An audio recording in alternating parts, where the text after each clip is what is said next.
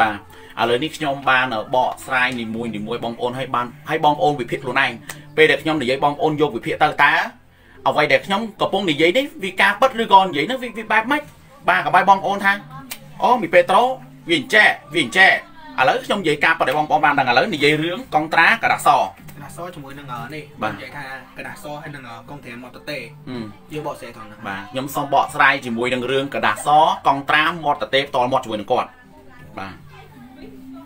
ប៉ុន្តែខ្ញុំចង់បញ្ជាក់ប្រាប់បងប្អូនថាសម្រាប់កងត្រាមួយនេះគឺគាត់បានផ្ដល់កងត្រាកងត្រាខ្ញុំពិតមែនក្នុងរយៈពេល1ឆ្នាំប៉ុន្តែគាត់សន្យាថានឹងមានការឡាយលាក់សឲ្យខ្ញុំអឺដោយសារតែចេះថ្ងៃមុនហ្នឹងថាម៉ែបានធ្វើវីដេអូអកស្រែចូលមកក្រោយមកគាត់ចូលមកក្រោយមកមកកុំឲ្យថាខ្ញុំខ្ញុំនិយាយម្នាក់ឯងទៅបាទបាទ អឺសម្រាប់បងស្រីគាត់ថាចេះចុះថ្ងៃមុនបងឯងបកស្រាយវីដេអូម្ដងហើយថាអាវីដេអូហ្នឹងគឺចង់និយាយថាម៉ែគាត់បានទៅជួបហើយគឺទៅលក្ខណៈថាទៅសម្របសម្រួលបែបអូខេឥឡូវឥឡូវកាត់តិចសិនយើងយើងនិយាយពីអ្វីដែលយើងឥឡូវយើងនិយាយពីដើមតមសិនយើងនិយាយពីកងត្រាកដាតតេ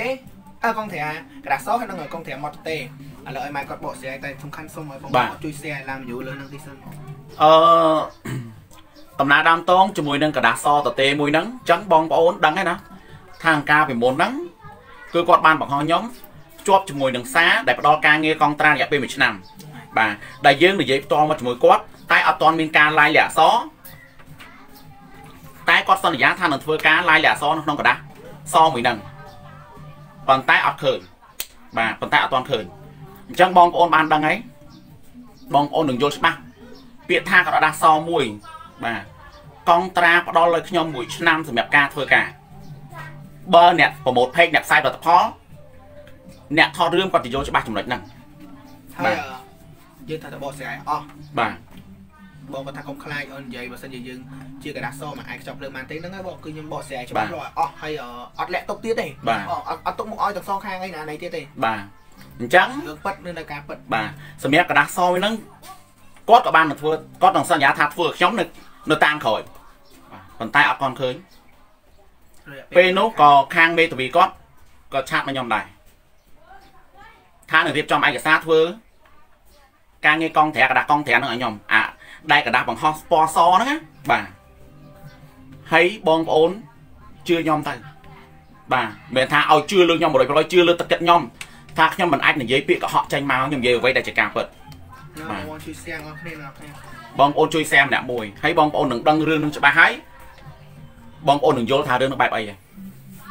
តោះហើយវាមានច្រើនមានតាក់ទងជាមួយនឹងការវីដេអូមានតាក់ទងជាមួយនឹងការរឿងឡានហើយនឹងជាមួយនឹងនិយាយទៅគឺយើងមានច្រើនប៉ុន្តែយើងបកស្រាយពីចំណុចដំបូងគឺកណ្ដាសហើយនឹងមួយទៀតគឺកងត្រាមតតេសំខាន់គឺបងប្អូនយើងចូលមយល់បានច្រើនសិនយើងបកស្រាយអស់គឺយើងអត់ទុកទេអឺអត់មានកណ្ដាស់ណាអត់មានអីអូនកណ្ដាស់នេះគឺកណ្ដាស់គ្រាន់តែបងណូតទុកថាបងត្រូវបកស្រាយចំណុចណាចំណុចណាថាអញ្ចឹងណា បាទអត់មានកระดาษទេអត់ទេក៏ចង់និយាយថាឲ្យយកអាกระดาษកងត្រាហ្នឹងមានកระดาษកងត្រាណាអត់មានទេกระดาษទេអានេះគ្រាន់ចំណុចដែលខ្ញុំត្រូវបកស្រាយប្រាប់គាត់ទៅវិញឲ្យបងប្អូនបានយល់ច្បាស់ពីចំណុចដែលកំពុងតែមានបញ្ហាកើតឡើងគាត់បានសន្យាមួយខ្ញុំថាគាត់នឹងធ្វើការឡាយលាក់សឲ្យទោះបីជាគាត់និយាយថាសន្យាផ្ទាល់មាត់ហើយនឹងមាត់ខ្ញុំទទួលស្គាល់ថាគាត់ផ្ដល់ការងាររយៈពេលខ្ញុំមួយឆ្នាំប៉ុន្តែអ្វីដែលគាត់សន្យាគឺអត់ឃើញធ្វើឲ្យខ្ញុំបាទទី1ធ្វើกระดาษជាឡាយលាក់សខ្ញុំមេធាវីបានឆាប់ខ្ញុំថាធ្វើប៉ុន្តែឥឡូវខ្ញុំអត់ឃើញទេ ខ្ញុំសូមបញ្ជាក់លេខនឹងមួយគឺអត់មានឃើញការឡាយលាក់សអីជូនជូនខ្ញុំទេបាទមួយទៀតអឺសម្រាប់កងត្រាម៉ូតតេបងស្រីក៏គាត់បាននិយាយដែរគាត់ថាកងត្រាម៉ូតតេមែនប៉ុន្តែគាត់ផ្ដល់ការងារឲ្យយើងមួយឆ្នាំប៉ុន្តែសម្រាប់ពាក្យសម្ដីដែលគាត់និយាយមួយឆ្នាំនោះគឺអត់មានអ្វី1%មកវិញទេបាទអឺផ្ដល់ការងាររយៈពេលមួយឆ្នាំដែលយើងនិយាយផ្ទាល់នឹងមាត់ហើយនឹងមាត់បាទ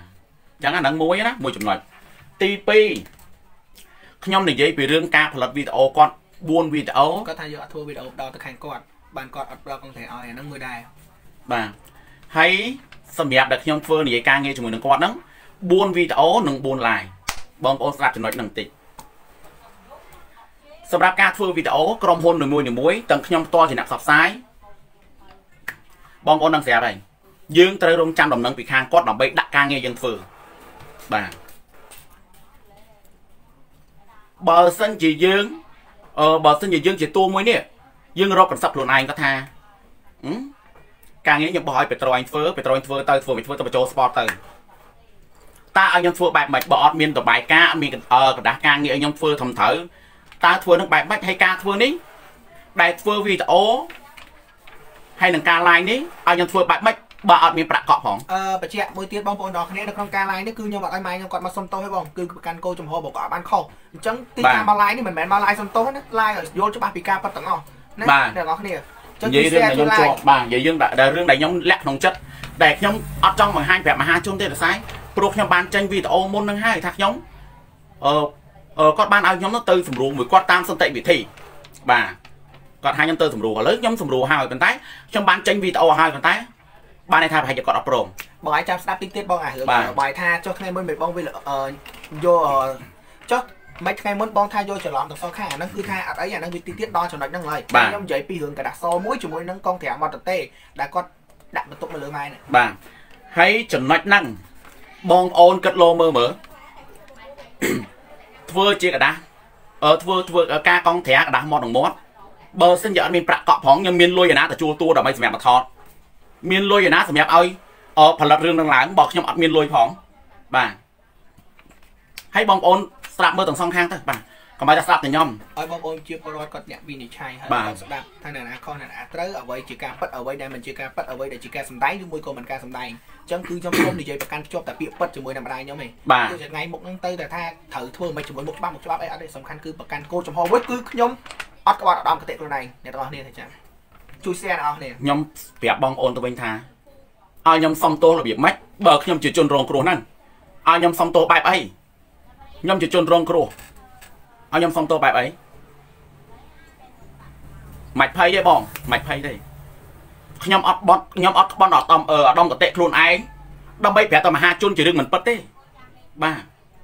អត់តន់ចប់ទេបងព្រោះគាត់គាត់បានគាត់បាននិយាយឲ្យគាត់បានព័ត៌មានគាត់ថានឹងមានការប្តឹងបើសិនជាទុកពេលដល់ថ្ងៃ10ខ្ញុំមានការសំទោសសាសនាប៉ុន្តែខ្ញុំប្រាប់បងប្អូនទាំងអស់គ្នាថាភាពស្មោះត្រង់ខ្ញុំតាំងពីដើមមករហូតដល់ពេលនេះ គឺដោយសារតែបងប្អូនទាំងអស់គ្នាស្រឡាញ់តែភាពស្មោះត្រង់របស់ខ្ញុំភាពកប្លុកកប្លែងរបស់ខ្ញុំហ្នឹងហើយមិនមែនល្បីដែល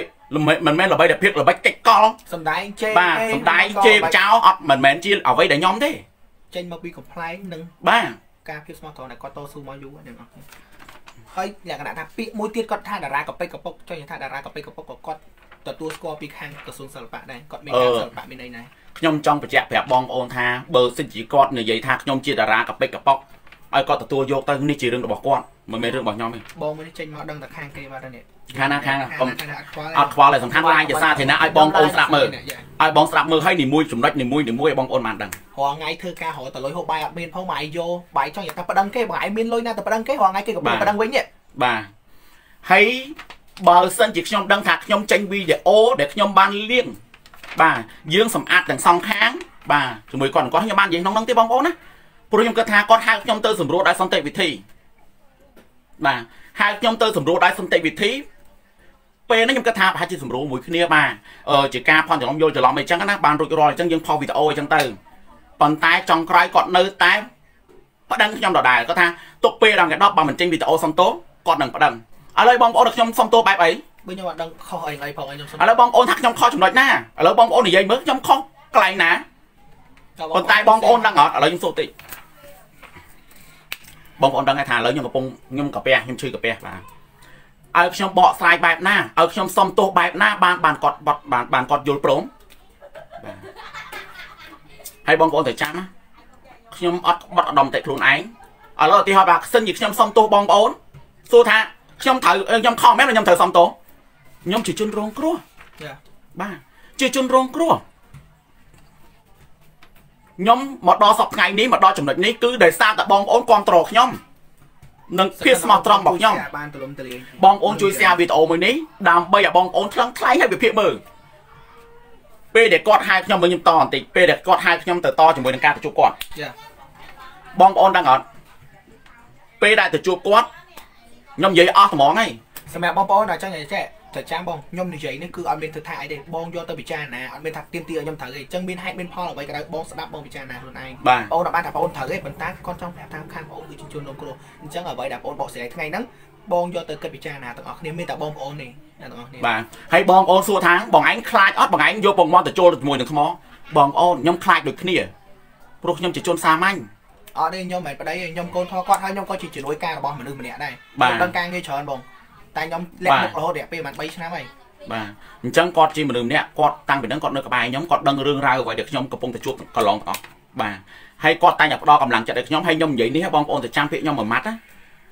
ខ្ញុំបានសម្របរួលនិយាយជាមួយនឹងគាត់សន្តិវិធីឲ្យខ្ញុំបានចេញវីដេអូឲ្យប៉ុន្តែគាត់អត់ព្រមទេគាត់ចេញវីដេអូមកទៀតគាត់ថាគាត់នឹងប្តឹងខ្ញុំទុករយៈពេលដល់ថ្ងៃ10បាទប្តឹងវិបត្តិអីសម្រាប់ខ្ញុំហ៎បងប្អូនសួរតែខ្ញុំខ្លាចហ៎បងប្អូន ខ្ញុំខ្លាចនឹងការប្តឹងដោយសារតែខ្ញុំទី1ខ្ញុំខ្ញុំជាខ្ញុំក្រឲ្យមានការតតាំងជាមួយនឹងគេទេប៉ុន្តែអ្វីដែលខ្ញុំខ្លាចបំផុតបន្តទៀតហ្នឹងខ្ញុំក្បត់អត់ដល់មតិខ្លួនឯងដែលខ្ញុំប្រាប់រឿងមិនពិតតែប្រាប់បងប្អូនខ្ញុំសុំទោសអញ្ចឹងឧទាហរណ៍ថាបើខ្ញុំសុំទោសមិនបើខ្ញុំអត់បានខុសផងបាទបងប្អូនបងប្អូនដឹងពីចំណុចហ្នឹងថាខ្ញុំពិបាកប៉ុណ្ណាខ្ញុំទទួលសភាពប៉ុណ្ណាហើយហៅខ្ញុំទៅនិយាយរឿងសម្រួលគ្នាហៅខ្ញុំទៅនិយាយគឺដូចអ្វីដែលគាត់និយាយថាសម្រួលសន្តិវិធីទេ គាត់លើកហេតុផលបាទអូខេឥឡូវតើបងប្អូនបាន 1K 5ខ្ញុំទាំងអស់គ្នានឹងនិយាយហើយនិយាយពីរឿងការទៅថាគាត់ថាថ្ងៃហ្នឹងគាត់និយាយចឹងគាត់ថាថ្ងៃក្រោយគាត់នឹងធ្វើជាกระดาษអីមួយដើម្បីជាកុងត្រាអញ្ចឹងណាឲ្យម៉ែបកស្រាយឲ្យអឺរឿងដែលគាត់ថានិយាយសន្យាថាដំបងឲ្យខ្ញុំផុសកាន់กระดาษតទេហ្នឹងខ្ញុំបកមកបកក្រោយបន្តិចกระดาษសกระดาษសតទេខ្ញុំចង់ឲ្យគាត់បញ្ជាក់ពីរឿងกระดาษសមួយខ្ញុំដែលគាត់សន្យាថាធ្វើហេតុអីក៏អត់ធ្វើ ហេតុអីក៏អត់ធ្វើហើយអឺគាត់សន្យាថាគាត់ធ្វើឡាយលាក់អក្សរឲ្យខ្ញុំត្រឹមត្រូវទាំងអស់មេធាវីក៏គាត់តាក់តងមានខ្ញុំមានឆាតទាំងអស់មិនមកយើងយើងនិយាយនិយាយតាមខ្ញុំខ្ញុំមានឆាតទាំងអស់ខ្ញុំកំពុងតតុបថាហេតុអីខ្ញុំមកទទួលរឿងបែបនេះក្នុងជីវិតរបស់ខ្ញុំ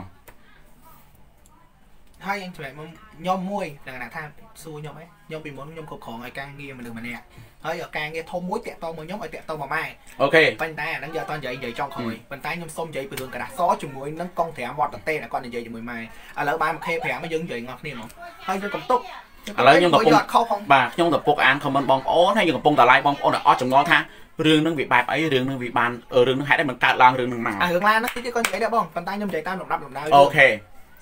បងបងបងបងជឿថាខ្ញុំសក់សក់ខ្ញុំសំឡានគាត់បងប្អូនជឿអត់ ទី1ដោយសារតែគាត់បង្ហាញដែរគាត់ប្រហើបដែរគាត់ថាបើធ្វើវីដេអូហ្នឹងទៅបើសិនជាផ្ទុះអីចឹងទៅណាអឺមិនមិនចាំគាត់ជួយឡានឲ្យមួយបងប្អូនទៅចាំចំណុចហ្នឹងនេះខ្ញុំនិយាយពីការមនោចេតនាជាមួយនឹងគាត់គាត់ខ្ញុំលើតែគាត់និយាយពាក្យហ្នឹងយើងរំភើបឯងព្រោះពេលនេះយើងមានយានជំនិះជិះបងប្អូនខ្ញុំអត់មានយានជំនិះជិះទេហើយខ្ញុំក៏បានភ្ជាប់ទៅសារទៅជាមួយដោយសារតែ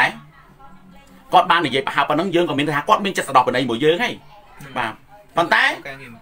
ប៉ុន្តែចការពិតគឺមិនពិតទេ បាទចការពិតគឺខ្ញុំបានឆាតទៅសុំគាត់ខ្ញុំនិយាយនេះគឺក្នុងន័យ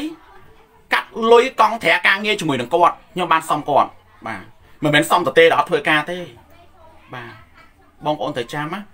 អឺមេតាវីសម្ដេចហ៊ុនសែនជួយបានបងសម្លាញ់ហើយខ្ញុំសង្ឃឹមថានឹងមានភាពយុត្តិធម៌សម្រាប់បាទមានភាពយុត្តិធម៌សម្រាប់ខ្ញុំខ្ញុំជាជនរងគ្រោះខ្ញុំជាមនុស្សម្នាក់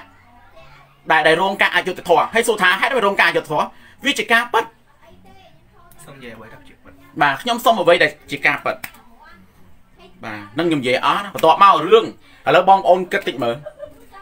ខ្ញុំជាអ្នកក្រអត់គាត់និយាយថាថតទូរស័ព្ទធម្មតាណាខ្ញុំទទួលស្គាល់ខ្ញុំថតទូរស័ព្ទធម្មតាឲ្យបងប្អូនដឹងអត់ថាតម្លៃដែលខ្ញុំថតបាទទទួលថតគាត់នឹងខ្ញុំតម្លៃប៉ុណ្ណាខ្ញុំនិយាយតម្លៃការថតឲ្យបងប្អូនដឹង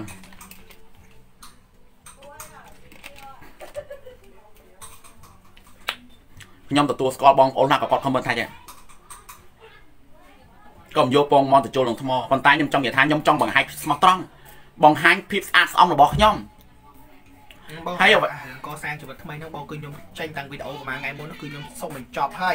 ដើម្បីអីដើម្បីឥឡូវមិនមែនថានេះមានដែរកាំងនេះគ្រាន់តែបញ្ចប់រឿងហ្នឹងភ្លាមផុសវីដេអូបញ្ចប់ទៀតមានបងបងដែលគាត់ស្គាល់ម៉ែហ្នឹងគាត់តាក់ទងមកបានមួយរឿងពីររឿងដែរប៉ុន្តែខ្ញុំអត់ទាន់ផុសឲ្យសុំនិយាយបញ្ចប់ឲ្យអស់ហ្មងអញ្ចឹងរឿងថ្ងៃហ្នឹងគឺយើងបាច់យកអីនិយាយផ្សេងយើងនិយាយរឿងអាសហ្នឹងមក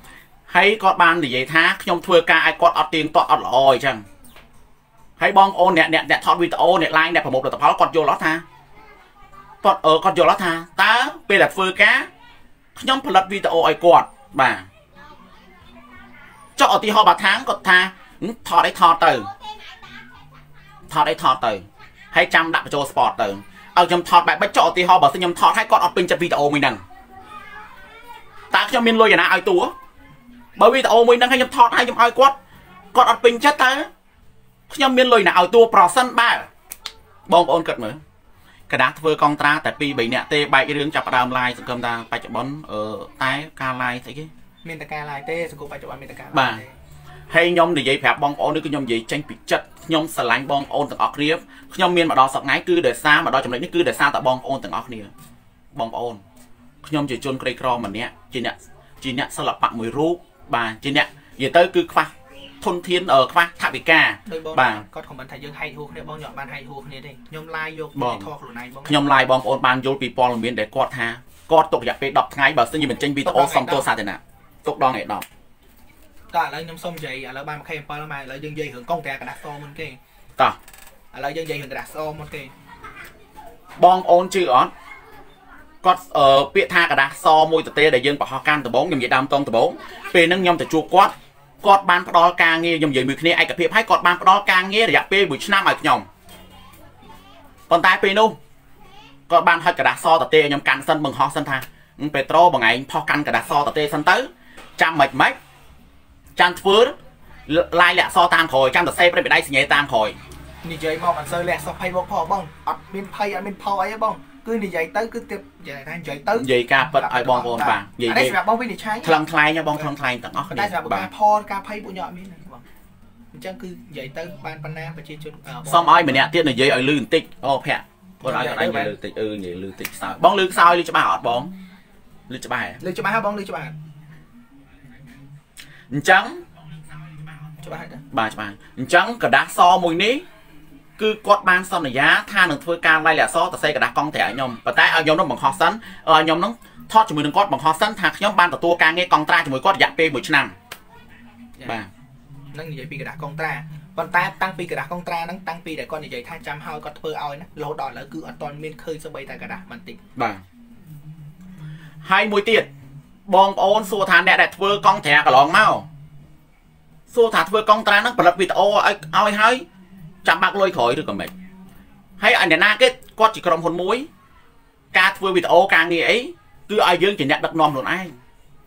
បាទឲ្យយើងជាអ្នកផលិតខ្លួនឯងចុះឧទាហរណ៍ខ្ញុំនិយាយចឹងចុះបើសិនជាខ្ញុំថតឯងមិនពេញចិត្តគាត់នឹងវីដេអូមួយហ្នឹងតើខ្ញុំមានលុយអាណាចាញ់ឲ្យថ្លៃតួ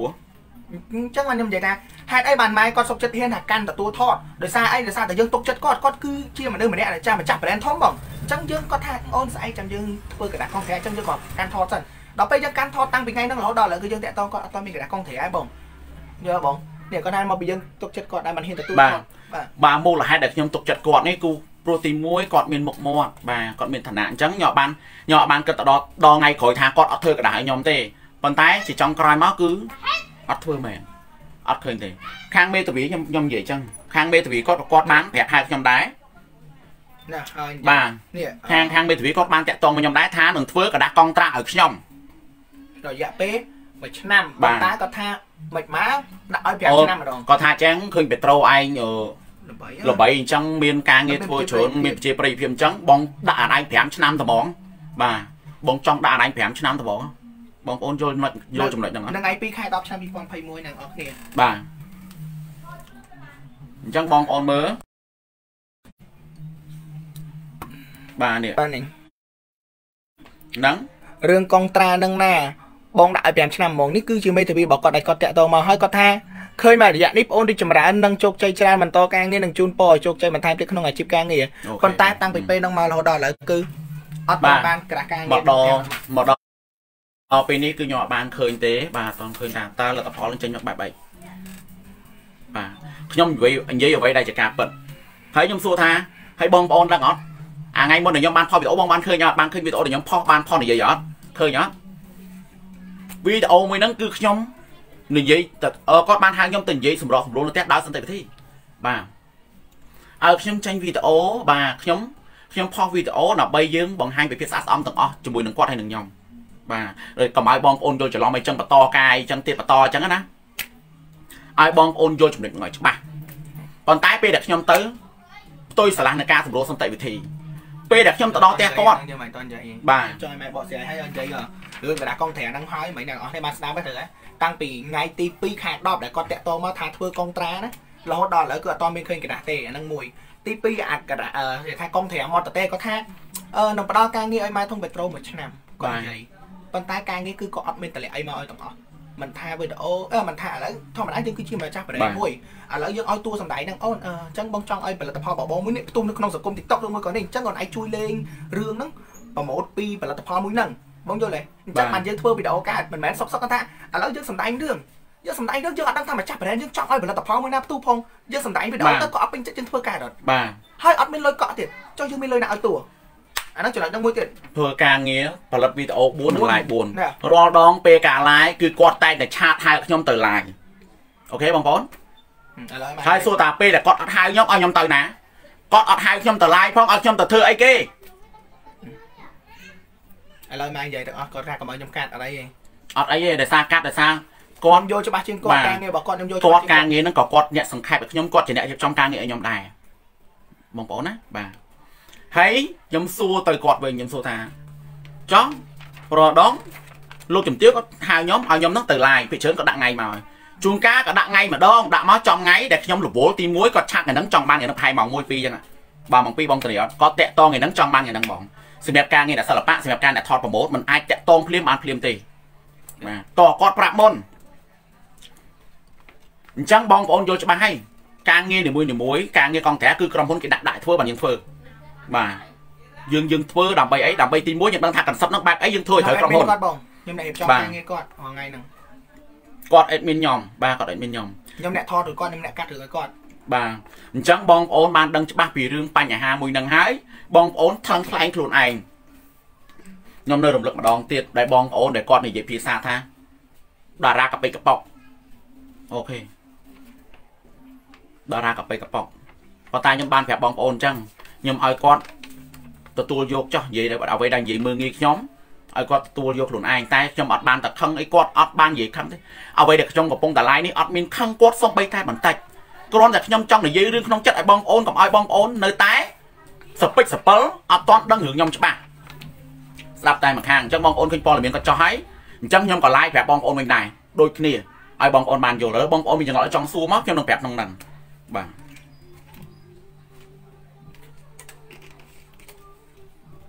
បន្តទៀតយើងនិយាយរឿងឡានបាទអញ្ចឹងដូចរឿងឡានអញ្ចឹងបងប្អូនណោះបាទខ្ញុំទទួលស្គាល់ថាខ្ញុំបានឆាតទៅសំទៅទិញឡាន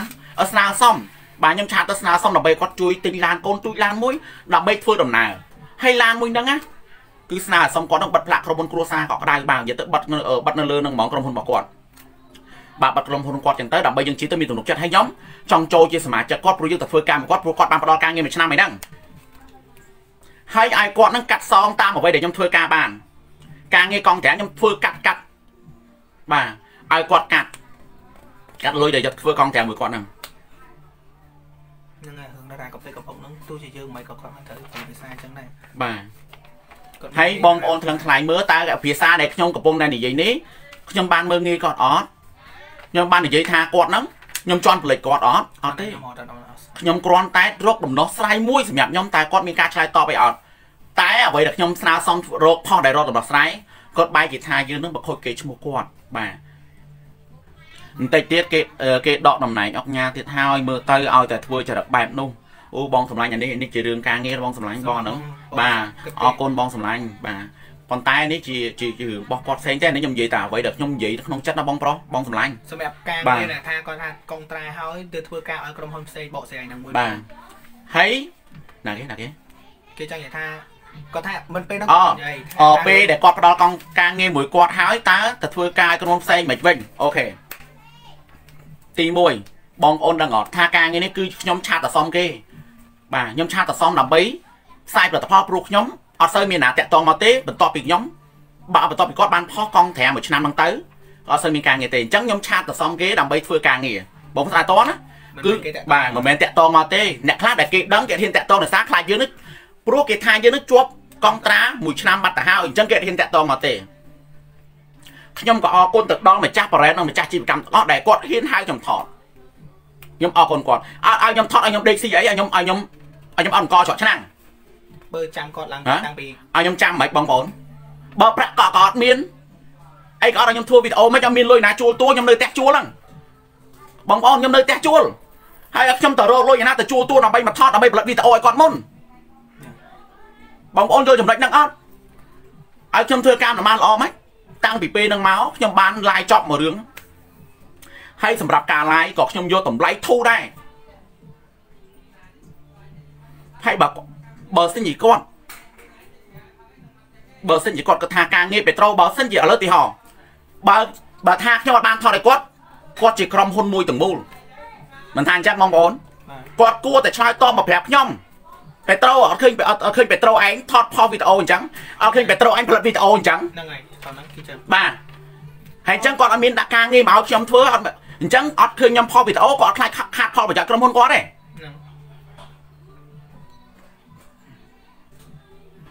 អឺផលិតផលដែលយកលេមកពេញផ្ទះហ្នឹងសួរការមុនមែនបាទហ្នឹងហើយបងហ្នឹងហើយផលិតផលគាត់ផ្ញើមកឲ្យហើយផលិតផលនេះហ៎ផលិតផលដែលខ្ញុំ like ក្នុង page Facebook ខ្ញុំគឺខ្ញុំ free ជូនគាត់នៅក្នុង TikTok ខ្ញុំ free ជូនគាត់មកយូខ្ញុំរាប់លាន TikTok រាប់លានបងប្អូនចូលទៅមើលក្នុងចូលក្នុង TikTok ធុងពេត្រូទៅបាទ ដែលមានចំនួន follower 1លានចុច1បងប្អូនចូលទៅមើលតើវីដេអូដែលខ្ញុំប្រម៉ូទអាវភ្លៀងអាវជុតស៊ីនសូណាហ្នឹងតើខ្ញុំមានមនុស្សប្រហែលបងប្អូនចូលទៅបោកខ្ញុំចូលមើលទៅតើខ្ញុំមិនខំប្រឹងប្រែងហ្មងបើខ្ញុំតាំងពីស្កាត់ជាមួយគាត់ខ្ញុំ live លទ្ធផលនេះទៀតហ្នឹងខ្ញុំ live នៅក្នុង page របស់ខ្ញុំទៀតហ្នឹងអញ្ចឹងហ្នឹងហើយក៏គាត់និយាយប្រហែលទៀតថាបាទបងជីវ៉ាក៏សួរថ្ងៃមុនហ្នឹងអញ្ចឹងបងក៏សួរហ្នឹងគឺខ្ញុំបានឆ្លើយតទៅវិញថាបងជីវ៉ាផលិតផលដែលយកមកនៅផ្ទះហ្នឹងគឺខ្ញុំមក live ជួយគាត់ជាទឹកចិត្តរបស់ខ្ញុំជាទឹកចិត្តរបស់ខ្ញុំ ចង់ចង់ឲ្យមកនិយាយរឿងគាត់ថាយើងធ្វើការអត់គ្រប់ពេលវេលាអត់មានអីអូខេឥឡូវបងប្អូនសួរថាធ្វើការងារអត់គ្រប់ពេលវេលាមិនក្រុមហ៊ុនគាត់ទាំងមូលគាត់គួរតែដាក់ការងារឲ្យខ្ញុំដល់ពេលខ្ញុំអត់ធ្វើក៏អត់បាទហើយចុះពេលដែលខ្ញុំអត់ធ្វើបងមិនអឺគាត់មិនព្រមរករឿងខ្ញុំទៅថាងពេត្រូមែនឃើញចេញវីដេអូអញ្ចឹងហើយបាត់ឃើញធ្វើវីដេអូខ្ញុំអញ្ចឹងគាត់អត់ខ្លាចខាត់បងផលប្រយោជន៍ក្រុមហ៊ុនទេពេលលតួអត់ប្រម៉ូទពេលលតួអបផ្សាយអបផ្សាយអបផ្សព្វផ្សាយគាត់ គាត់ខ្លាចខាត់បងផលប្រយោជន៍គាត់ទេគាត់ទៅឆាតសួរខ្ញុំមិនមែនដាក់ដំណឹងស្នើសុំឡានហើយស្ងាត់ជ្រាបទាំងអស់ខ្ញុំស្នើសុំទិញឡានដោយសារតែខ្ញុំពិបាកធ្វើដំណើរបងប្អូនខ្ញុំធ្វើដំណើរពីច្បារអំពៅទៅ Eon 2ទៅសែនសុកហ្នឹងសែនសុកនៅ2002ហ្នឹងបងប្អូនខ្ញុំជិះ pass up ទៅអញ្ចឹងខ្ញុំខ្ជិលធ្វើដំណើរដែលខាតបង fast up យើងចង់ស្នើសុំគាត់ទិញឡានហ្នឹងដើម្បីយកអឺស្នើសុំទិញឡានធ្វើជាយានជំនិះដើម្បីយើងស្រួលជិះធ្វើការឲ្យគាត់ដដែលទេបាទហើយខ្ញុំឲ្យគាត់នឹងកាត់ប្រាក់ខែ កាត់កាត់អាលុយដែលខ្ញុំធ្វើការថ្ងៃកងត្រាជាមួយនឹងគាត់នេះដើម្បីកាត់ទៅថ្លៃឡានហ្នឹងទៅបងប្អូនបញ្ជាក់បន្តិចណាមិនមែនខ្ញុំសំលួយគាត់ទិញឡានដោយការផលប្រយោជន៍មកខ្លួនខ្ញុំអឺយកមកជិះលេងទេបាទជិះធ្វើការជូនគាត់ដដែលបិទផ្លាកគាត់ដដែលឆាតខ្ញុំមានទាំងអស់ឥឡូវបងប្អូនគិតតាមការគោះទៅបងប្អូនថ្លឹងថ្លែងទៅឲ្យខ្ញុំសំទោសបែបអីបងប្អូនដែលថតប្រម៉ូទសួរថាថតឲ្យគេផលិតឲ្យគេដែលគេផ្ដល់ការងារមួយឆ្នាំហើយ ថតឲ្យគេមុនហើយផ្ដល់កន្សឹបឲ្យឲ្យគេថតឲ្យគេចប់បើគេមិនពេញចិត្តមានលុយណាឲ្យតួមានលុយណាត្រូវឲ្យតួមានលុយណាឲ្យអ្នកគេកាន់ថតកាត់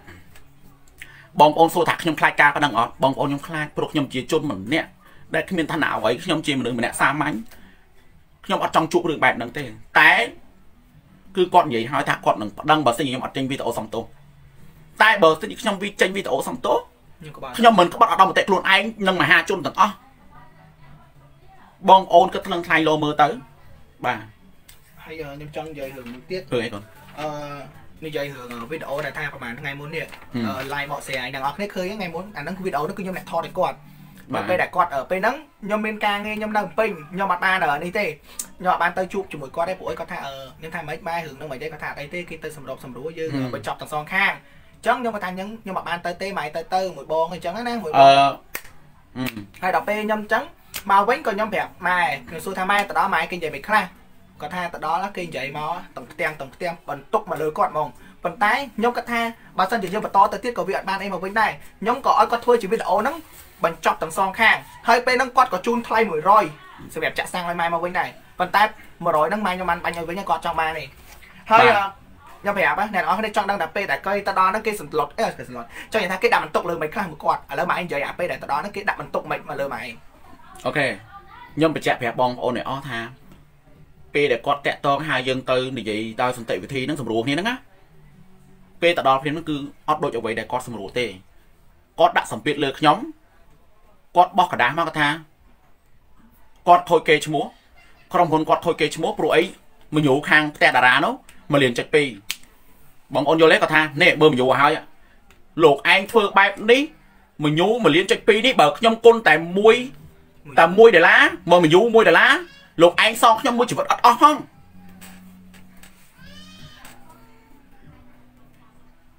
ញ៉ាំពាក្យហ្នឹងប៉ុន្តែសុខចិត្តលាក់ទុកអត់និយាយទេដោយសារតែគិតថាចង់ល្អទាំងសងខាងបញ្ចប់ការងារអើបញ្ចប់រឿងដល់ពេលដែលបញ្ចប់ហើយគឺទទួលបានការងារគឺខ្ញុំទៅថតឲ្យគាត់មិនសូវមិញរឿងខ្ញុំក៏កាត់ហើយដែរបញ្ចប់ការងារហើយស្រាប់តែស្អែកឡើងនេះគាត់ភ្ញាក់មកប្រហែលនេះ ឬគេឲ្យសុំទោសជាសាធារណៈទុកពេលឲ្យដល់ថ្ងៃ10បើអត់សុំទោសគេគេនឹងបដិងគាត់ទាំងតែរឿងគេដាក់សន្ទុកមកលើគាត់គេចង់និយាយថាក្នុងមួយ venue 1ដុល្លារអញ្ចឹងមួយ M.2 ហ្នឹងគឺ1លាន2 1លាន20ម៉ឺនដុល្លារអញ្ចឹង Miles drop សងគេមកមួយជីវិតគាត់អស់ដែរអាពាក្យហ្នឹងណាប៉ុន្តែសុកចិត្តអត់និយាយទេសុកចិត្តថារឿងនេះចប់ហើយចប់ទៅកូនយើងផលិតវីដេអូផលិតអីទៅឥឡូវយើងទុកទៅទៀតពាក្យហ្នឹងគេសន្លត់យើងប៉ុណ្្នឹងហ្នឹងខ្ញុំនិយាយទៅខ្ញុំអត់ចង់មានរឿងជាមួយនឹងបងប្អូននិងក្រុមហ៊ុនអីទាំងអស់ ហើយខ្ញុំសួរថាហេតុអីបានជា មានបញ្ហាដែលគេចោះព័ត៌មានបែបហ្នឹងបងប្អូនដឹងថាមកមូលហេតុអីសុកចិត្តថារឿងហ្នឹងចប់ទៅយើងចាប់ផ្ដើមជីវិតថ្មីខ្ញុំអ្នកខលគាត់គឺខ្ញុំអ្នកទទួលផលិតផលបានពីម្ចាស់ពីអីចឹងណាចឹងក៏ខ្ញុំអត់មកដែរថាឥឡូវយើងចេញវីដេអូបញ្ចប់ហើយប៉ុន្តែឥឡូវហេតុអីក៏ត្រូវមកដាក់បន្ទុកលើគាត់ត្រូវការទៀមទាសុំទោសចង់ឲ្យគាត់ក្បត់អារម្មណ៍បន្តិចខ្លួនឯងមែនឲ្យខ្ញុំសុំទោសឲ្យខ្ញុំសុំទោសរឿងអី ខ្ញុំគ្រាន់តែផុសថ្ងៃបុណ្យខ្ញុំគ្រាន់តែចង់បានដំណោះស្រាយគាត់មិនមានដំណោះស្រាយខ្ញុំគាត់ថែមនឹងចង់ប្តឹងខ្ញុំទៀតអាថ្ងៃមុនហ្នឹងគាត់គ្រាន់តែនិយាយពេលទៅសម្របសម្រួលហ្នឹងប៉ុន្តែខ្ញុំអត់ដឹងថាពេលដែលចេញវីដេអូសម្របសម្រួលគ្នាហើយហើយសបាយជាលេចចេញព័ត៌មានមកគាត់ចង់ប្តឹងម៉ែឲ្យម៉ែសុំទោសជាសាធារណៈហើយចុះខ្ញុំក្រណាខ្ញុំអត់មានសមត្ថភាពប៉ុណ្ណឹងតបមកគេទេខ្ញុំអត់ទេប៉ុន្តែខ្ញុំដាច់ខាត់ អត់ក្បត់ខ្ញុំអត់ក្បត់អត់អង្គទេខួរក្បាលខ្ញុំមួយហ្នឹងឯងហើយសម្រាប់ខ្ញុំមួយទៀតចង់និយាយថា line line បកស្រាយបងមិនសិនជា មានលេខាគេក៏ហៅឡើងតឡាការម៉ែខ្ញុំគាត់និយាយមួយម៉ាត់ថាទោះជាគាត់មានបញ្ហាអ្វីទោះជាបណ្ដឹងហ្នឹងបើសិនជាគាត់ជាប់បណ្ដឹងហ្នឹងមែនមានទោសយ៉ាងណាក៏ដោយគាត់ស៊ូសុកចិត្តជាប់ទោសអត់ក្បត់ឧត្តមកតិអត់សុំទោសទេខ្ញុំសុកចិត្តទោះបីជាទោសហ្នឹងដល់កម្រិតណាក៏ដោយខ្ញុំនិយាយໄວតែជាការពិត ខ្ញុំអត់សំទោសប៉ុន្តែក្បត់អត់ដំកតេខ្លួនឯងបែបមហាជនថាខ្ញុំជាអ្នកកោខ្ញុំអត់និយាយទេខ្ញុំអត់សំទោសទេខ្ញុំសង្ឃឹមថានឹងមានអយុត្តិធម៌នឹងមានយុត្តិធម៌សម្រាប់ខ្ញុំខ្ញុំសង្ឃឹមថាស្រុកខ្មែរនឹងមានយុត្តិធម៌មួយសម្រាប់ខ្ញុំជាជនរងគ្រោះច្រើនណាស់ច្រើនណាស់ដែលគេគេថាឯងយកពុកមកទៅជុលជាមួយនឹងខ្មោចចាំខ្ញុំអត់ខុសផងជុលមកវាបែកក្បែកទៅមកខ្ញុំអត់ខុសផង ហើយចង់និយាយថាគាត់និយាយថាអឺតារាកំអីកំប៉ុកបងមកឲ្យមើលងាយគាត់ទទួលស្គាល់ពួកខ្ញុំក្រទេខ្ញុំក្រប៉ុន្តែខ្ញុំអត់មានអីទេខ្ញុំអត់សំប្រើពាក្យនឹងមើលងាយអ្នកក្របងខ្ញុំសុំតែម្យ៉ាងសុំរងយុទ្ធធម៌សម្រាប់ខ្ញុំបើគាត់ផ្ដងខ្ញុំផ្ដងចោះខ្ញុំគ្រាន់តែសុំយុទ្ធធម៌សម្រាប់ខ្ញុំហើយសម្រាប់ខ្ញុំមិនឲ្យជួយគាត់ទេខ្ញុំជួយទូខ្ញុំជួយគាត់គាត់ជួយខ្ញុំមួយគាត់ ហើយគាត់អត់ដែរទៅជីកស្ន់លើអ្នកណាអត់ដែរចេះនិយាយពីអ្នកណាធ្វើគាត់ធ្វើតែការងារសង្គមឯងហើយស្អែកហ្នឹងត្រូវទៅនេះយកអាគេប្រដាប់ក្មេងលេងខ្ញុំខ្ញុំទៅទិញជាមួយគាត់ធ្វើអ្វីដើម្បីដើម្បីសង្គមហើយសួរថាខ្ញុំមាននរណានៅក្បែរខ្ញុំអត់ពេលដែលខ្ញុំមានបញ្ហាអញ្ចឹងខ្ញុំខ្ញុំខ្ញុំអត់មាននរណាគេផ្ដល់កម្លាំងចិត្តឲ្យខ្ញុំខ្ញុំរងការយុតិធម៌ដែល ជាជនរងគ្រោះឲ្យគេផ្ដឹងទៀតខ្ញុំខ្ញុំអត់ទេបងធ្វើអ្វីខ្លួនឯងគួរដឹងឈប់សំដែងចង់និយាយថាខ្ញុំនិយាយចេញទៅបងឯងថាសំដែងក៏សំដែងខ្ញុំអត់មានបានជិមទីអ្វីមកវិញបងឥឡូវខ្ញុំសួរមួយម៉ាត់បងបងសួរថាខ្ញុំជាជនរងគ្រោះពិតអត់ឥឡូវគិតខ្លួនឯងទៅបាទហើយបើឲ្យខ្ញុំសុំទោសគាត់ជាសាធារណៈឲ្យខ្ញុំសុំទោសបែបអីបើខ្ញុំជាជនរងគ្រោះហ្នឹង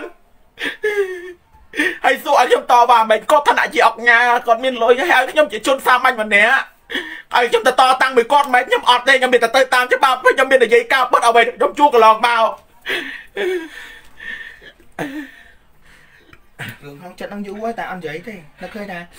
ខ្ញុំនិយាយរឿងក្នុងចិត្តឲ្យអស់ពេលហ្នឹងហើយកុំឲ្យបងប្អូនបងច្រឡំថាខ្ញុំជាមនុស្សហើយខ្ញុំមានបញ្ហាសុខភាពខ្ញុំខ្សោយ បាទខ្ញុំបងបងជីវ៉ាខ្ញុំមិនយំយំនេះគឺយំដោយសារការរងអយុត្តិធម៌ខ្ញុំយំនិយាយរឿងក្នុងចិត្តរបស់ខ្ញុំបងឯងគិតមើលទៅតើខ្ញុំមានបញ្ហាអីសម្រាប់ខ្ញុំហើយខ្ញុំម្នាក់ឯងបាទអស់ខ្ញុំសុំទោសបែបអីខ្ញុំមានតែមហាជនទេហើយបងប្អូនថ្លឹងថ្លែងមើលទៅតើអ្វីជាការពិតឬក៏ជាការកុហកព្រោះខ្ញុំអត់ចេះក៏អត់ចេះល្បិចក្បោចទៅគេទេសម្បីតែវីដេអូផុសឲ្យខ្ញុំផុសស្រួលមួយគាត់និយាយហ្នឹងក៏មានបងប្អូនខ្លះ ក៏គេថាខ្ញុំនឹងគេគេគេថាខ្ញុំនឹងស៊ីសំណោកអីបានហើយនិយាយមកលៀងវិញហើយខុសហើយលៀងវិញប៉ុន្តែខ្ញុំចង់លៀងសម្អាតដើម្បីបងប្អូនកុំឲ្យយកច្រឡំទាំងគាត់ហើយនឹងខ្ញុំព្រោះខ្ញុំអត់មានអ្វីទេខ្ញុំមានតែសុំគាត់បញ្ចប់បាទនឹងឡាយលៀងទៅដើម្បីអីក៏ឲ្យបងប្អូនស្អប់គាត់ហើយបងប្អូនកុំស្អប់ខ្ញុំឲ្យស្រឡាញ់ទាំងអស់គ្នាប៉ុន្តែជាចុងក្រោយគឺខ្ញុំរើសរោងការគាត់នៅតែរកបណ្ដឹងដដែលខ្ញុំឈ្មោះភ័ក្រពីមុនខ្ញុំកាន់ហាងងារមនុស្សម្នាក់បង ចាំមែនដែររឿងហ្នឹងគឺឥឡូវបងប្អូនត្រូវថ្លែងមើលតើខ្ញុំជាមនុស្សបែបអីហើយខ្ញុំជួបរឿងបញ្ហាអញ្ចឹងហើយខ្ញុំឲ្យខ្ញុំឲ្យខ្ញុំធ្វើម៉េចខ្ញុំមានតែទទួលពាក្យបណ្ដឹងគាត់បើគាត់បណ្ដឹងខ្ញុំទទួលចោះបាទឲ្យគាត់បណ្ដឹងចោះខ្ញុំមានតែប៉ុណ្្នឹងទេខ្ញុំមានតែទៅតាមនឹងហើយបើសិនជាស្រុកខ្មែរមានយុទ្ធធម៌មែនត្រូវតែមានយុទ្ធធម៌សម្រាប់ខ្ញុំមិនមែនអយុទ្ធធម៌ឲ្យរកអ្វីមិនឃើញទេត្រូវតែមានដំណោះស្រាយ ហើយមកប្រាប់មួយមួយទៀតអឺធម្មតាមនុស្សយើងបើសិនជាយើងអត់ខុសយើងអត់លុបចោលប៉ុន្តែសម្រាប់ខ្ញុំនិយាយបានមេធាវីមេធាវីខាងគាត់ឆាតមកយើងគឺគាត់មានកន្លែងដែលគាត់លុបចោលអញ្ចឹងបើសិនមនុស្សយើងអត់ខុសគឺយើងអត់លុបចោលទេប៉ុន្តែគាត់លុបចោលទុកចោះមិននិយាយទុកឲ្យគាត់ចោះចាំឥឡូវយើងនិយាយឲ្យបងប្អូនគាត់ជួយពិចារណាឥឡូវបងប្អូនមើលទៅពិចារណាទៅសួរថាខ្ញុំជាមនុស្សម្នាក់ដែលសាមញ្ញហើយបងស្ដាប់មើលតើខ្ញុំខុសអត់ខ្ញុំខុសអត់ ខ្ញុំគួរតែសំទោសគាត់អត់ឲ្យបងប្អូនពិចារណាមើលហើយចុះបើសិនជាខ្ញុំសុំទោសគាត់បងប្អូនមើលមកខ្ញុំជាមនុស្សមិនគេថាខ្ញុំបងប្អូនមិនហើយខ្ញុំសួរបងប្អូនអរគ្នាដែលផ្សព្វផ្សាយដូចខ្ញុំនេះតើមានរោងអាចយន្តថតដូចខ្ញុំអត់អ្នកដែលថតអ្នកដែលធ្លាប់ផ្សព្វផ្សាយអញ្ចឹងបែបខ្ញុំដូចខ្ញុំអញ្ចឹងតើធ្លាប់មានរឿងអយុត្តិធម៌ដូចខ្ញុំអត់ហើយខ្ញុំសូមកាន់ទីសម្រាប់ការថតអត់បានលុយអីចឹងណាអានេះសម្រាប់ខ្ញុំ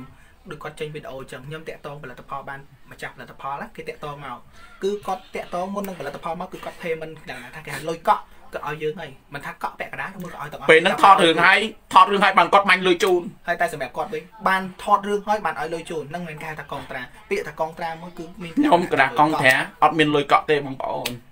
អត់មានលុយកក់ទេអេ អញ្ចឹងមិនថាអឺខ្ញុំហើយខ្ញុំជឿថាគាត់ជាមានដំណោះស្រាយនឹងរោគរឿងរោគយុទ្ធធម៌សម្រាប់ខ្ញុំខ្ញុំទទួលស្គាល់បងប្អូនសួរថាអឺពេត្រូឯងនិយាយចឹងអត់ខ្លាចគេប្តឹងឲ្យបងប្អូនបើគាត់ចិត្តគាត់ប្តឹងគឺគាត់ប្តឹងហើយចឹងថ្ងៃនេះគាត់និយាយបែបមិនក៏ដោយបាទ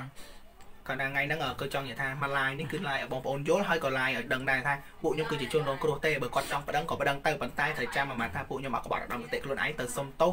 ឲ្យបងប្អូនមានការយល់ច្រឡំអត់ទេគឺខ្ញុំអត់សុំទោសជាដាច់ខាតហើយលើក៏សួរថាអត់ឲ្យសុំទោសមិនបើអត់ខុសផងចឹងមិនថាអត់ខុសផងឲ្យទៅសុំទោសមិនខ្ញុំ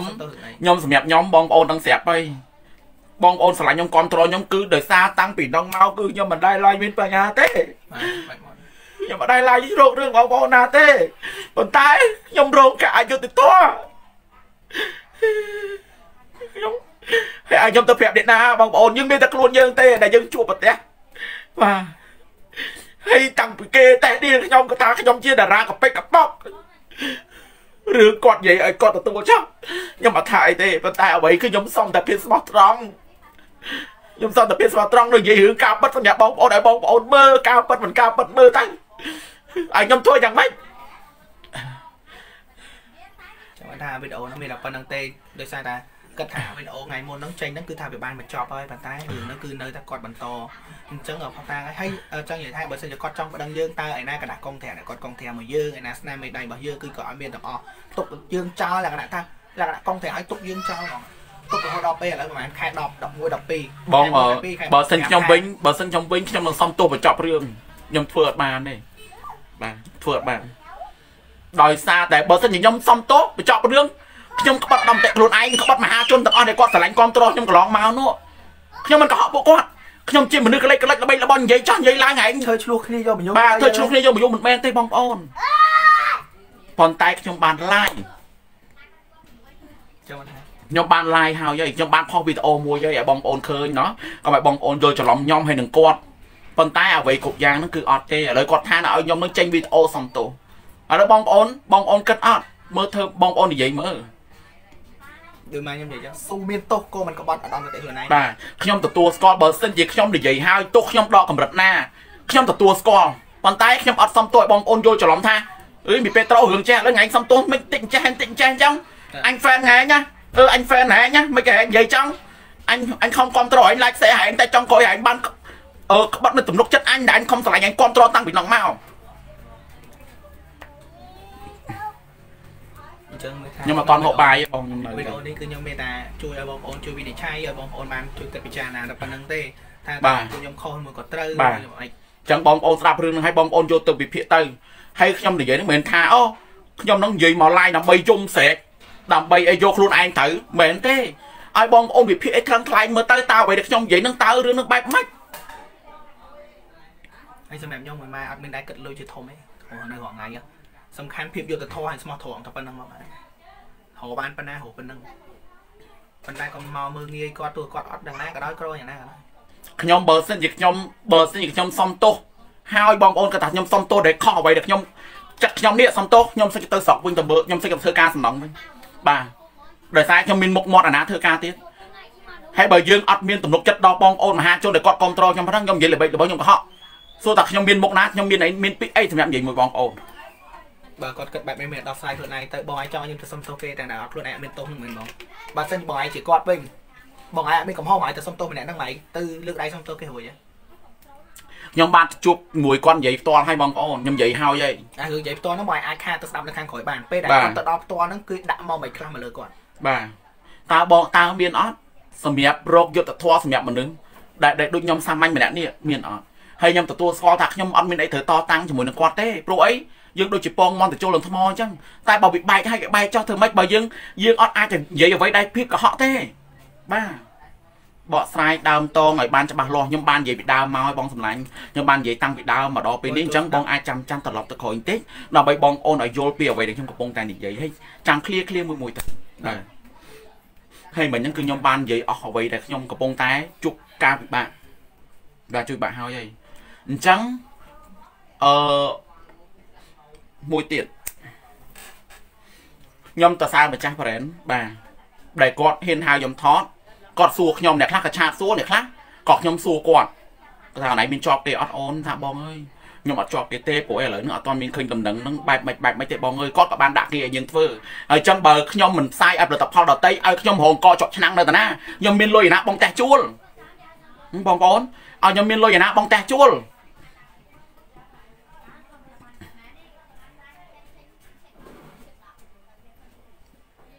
សម័យនេះតែយើងអត់លុយមានតែចាញ់គេឲ្យអូនអត់អីទេបងអត់អីបើគិតថាយើងយើងជាជនរងគ្រោះឲ្យមួយ បាទបើសិនជាក្នុងបាទបើសិនជាខ្ញុំរងការអយុត្តិធម៌មួយនេះខ្ញុំសូមអ្នកក្រោយក្រោយសូមអឺធ្វើតាមអារម្មណ៍ខ្លួនឯងទៅខ្ញុំមកមើលទៅយកទឹកញ៉ាំតិចយកទឹកម៉ែតិចដុសទឹកម៉ែតិចអត់អាកាទៅអញ្ចឹងអញ្ចឹងបងប្អូនទាំងគ្នាបាទ ហ្នឹងហ៎បាទឥឡូវមិនមែនមើលម៉ែម៉ែមើលឆាតមើលឆាតនោះតិចម៉ែមើលឆាតនោះតិចមកខ្ញុំលាវខុសបាទបាទមើលបងថាឲ្យគេអត់ដឹងរឿងច្បាស់អឺអឺហើយណាបងនិយាយឲ្យអស់សិនទៅកុំលាក់ក្នុងចិត្តទៀតខ្ញុំនិយាយអស់បងខ្ញុំនិយាយអស់បើក្មេងៗឡូឡាទៅរកបាត់ពីគាត់គាត់ឯងកំទៅណាឆ្ងាយនៅហ្នឹងខ្ញុំយកទឹកឲ្យញ៉ាំអាកាទឹកពីរដបទៀតបាទ សុកចិត្តជាប់គុកក៏មិនក្បត់ឧត្តមតិខ្លួនឯងដែរឥឡូវខ្ញុំមានអីទេខ្ញុំមានតែបងប្អូនបាទមានតែបងប្អូនជួយថ្លឹងថ្លែងមើលតើអ្វីដែលដែលគាត់បានធ្វើឲ្យខ្ញុំសុំទោសសាធារណៈនេះសួរថាខ្ញុំធ្វើបានអត់សួរតែខ្ញុំហ៊ានកុហកបងប្អូនអត់